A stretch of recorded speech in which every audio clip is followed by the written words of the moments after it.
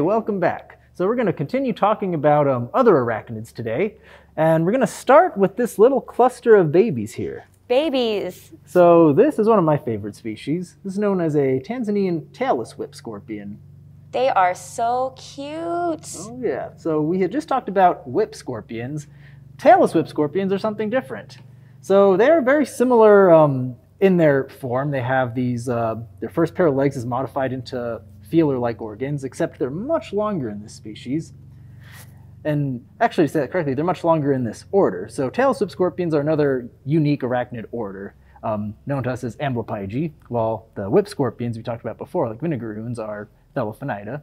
For those of you who want to know some jargon, Science. doesn't hurt. so another big difference is that these don't have any chemical defenses or venom. They're totally harmless. The only thing they can do to you is pinch with their pedipalps, which um, really doesn't do a whole lot. They rarely use that defense. They'd much rather run. And as you can see here, they're very fast. You, Ooh, very fast and very long. oh, and yeah. also no tail. Yep.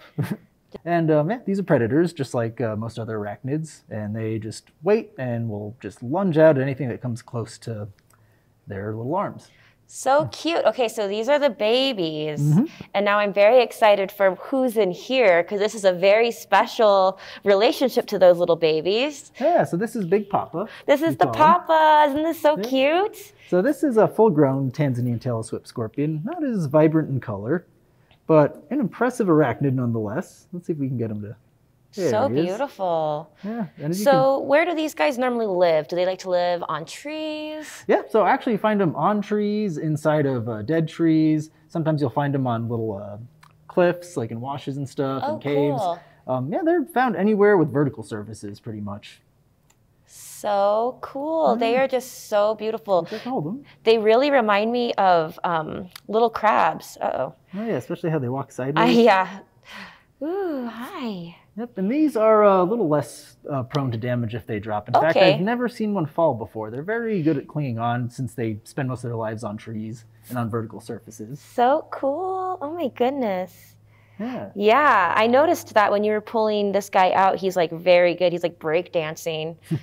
Look at how cute they are. I know, they're just adorable. Oh my goodness. I wore a white shirt today so you could see you good. can see the bugs. Oh Yeah. my gosh, little and if he looks familiar to you, um, I believe they had a CGI version of this in Harry Potter and the Goblet of Fire. And they were practicing uh, Oh, that's right. Cruciatus curses on it.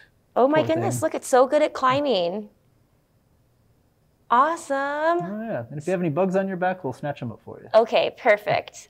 Well, thank you so much. Uh, next week we'll be continuing with arachnids, I believe, and I'm really excited for these ones, but also maybe a little nervous because some the little ones tend to scare me, but the Oh. big ones I love.